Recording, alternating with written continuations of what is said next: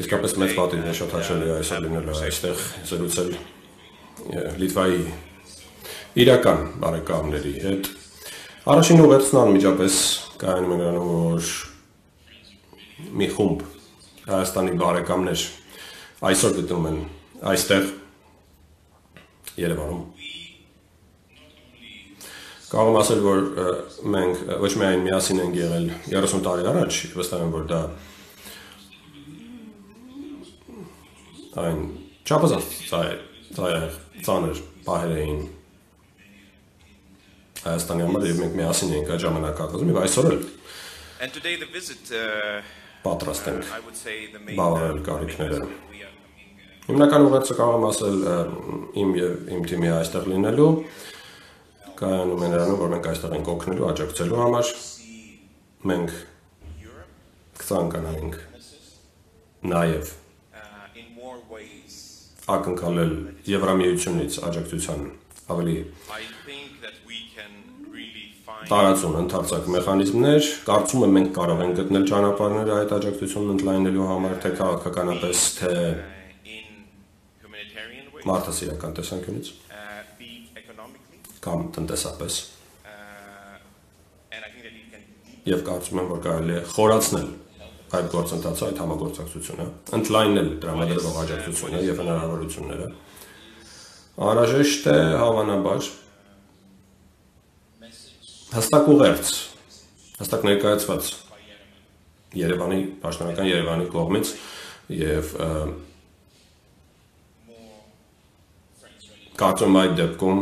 կգտնվեն ավելի շատ բարեկամներ,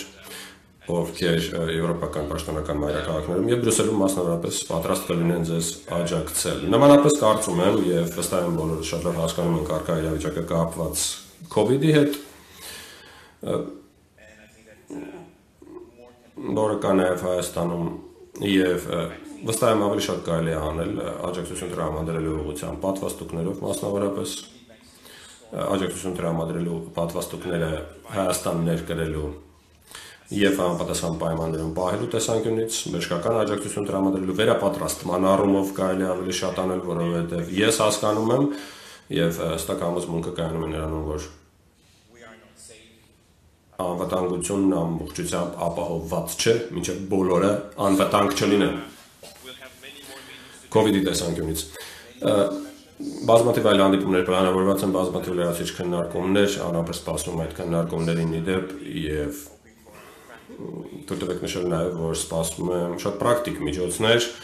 առաջարկություններ համագործակցությունը խորացնելու վերաբերյալ եւ եմ այդ դեպքում ավելի լայն աջակցություն կտրամադրվի Հայաստանին։ Կրկին շնորհակալություն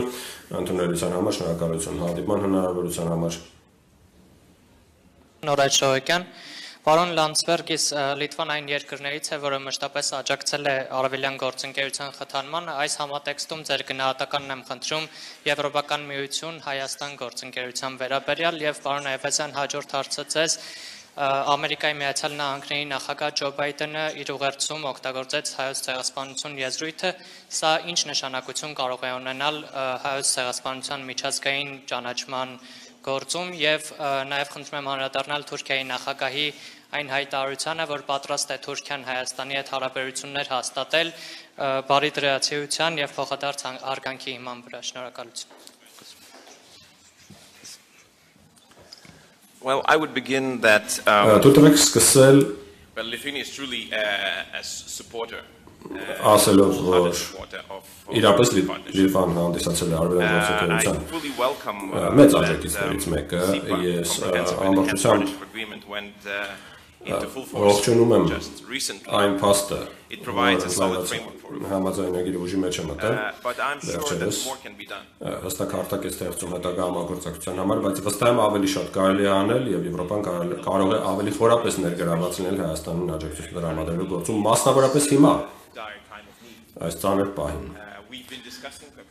Մենք ը, կոնկրետ միջոցներ ենք քննարկել, շարունակենք նաև դրանք քննարկել ապագայում։ Ես գիտեմ, որ իրավիճակը Հայաստանում շատ ավելի բարդ է, քան արևելյան գործընկերության այլ um, կամ ասոցիացված այլ երկրներում, uh, զուտ աշխարհագրաքաղաքական տեսանկյունից, սակայն դա չի նշանակում, որ Եվրոպան ընդառաջ չի գնա Հայաստանին։